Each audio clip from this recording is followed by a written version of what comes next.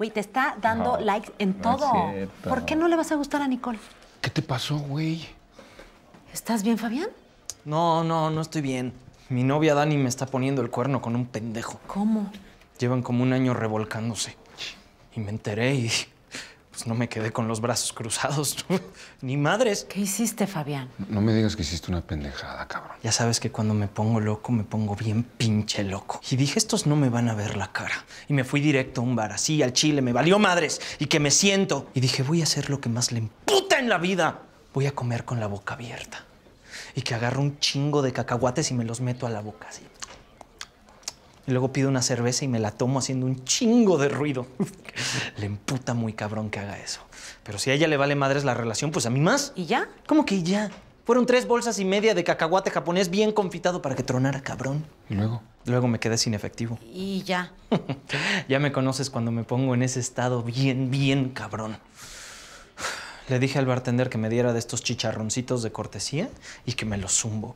Y luego le pregunté si tenía drogas. Pero, Fabián, si tú no te metes nada. No, no para mí, nada más le pregunté. Bueno, el punto es que me acabé los chicharrones y me fui a su casa. No mames. Estuve como dos horas en el taxi pensando qué le iba a decir cuando la tuviera enfrente de mí. Y cuando llegó el momento, Te fuiste a tu casa a llorar. casi, pero no, me bajé y le dije, ¡Daniela! ¡Daniela, puta madre! ¡Soy yo, el amor de tu vida!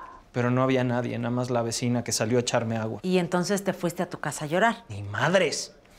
O sea, ya me iba, pero ellos llegaron y estaban ahí todos acarameladitos, dándose beso y beso. ¿Y entonces los encaraste?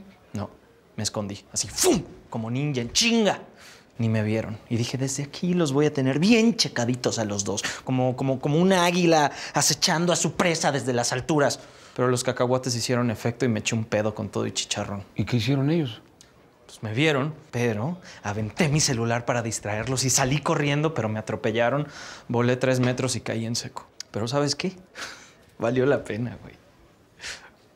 Porque el pendejo ese se fumó mi pedo completito. ¡Ah! Hasta le lloraron los ojos de seguro. ¡Ah! Para que sepa con quién se metió ese pendejo.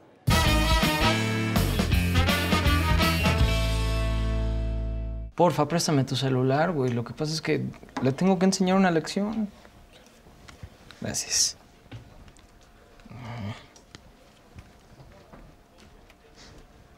Hola, eh, ¿me comunica con Casimiro La Teta?